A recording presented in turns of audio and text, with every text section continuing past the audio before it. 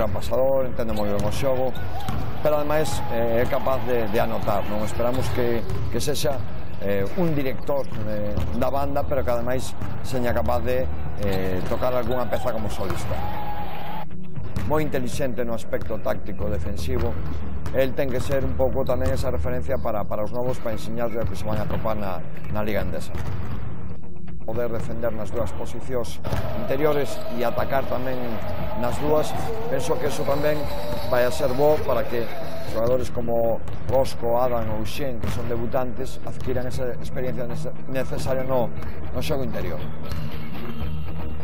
O rookie do equipo é a súa primeira experiencia profesional, xa un xogador que ten que ten calidade, que ten talento, que tamén nos pode axudar no, no campo defensivo, pero bueno, con el eh, temos que ser un pouco máis máis pacientes non para que se adapte antes as normas quizáis seña o que ten máis xogo máis xogo interior de, de, de, de espaldas ao aro pero tamén un xogador capaz de, de abrirse, tirar na media e incluso na, na longa distancia. Ten que axudarnos coa súa defensa, co seu xogo de espaldas e co seu rebote.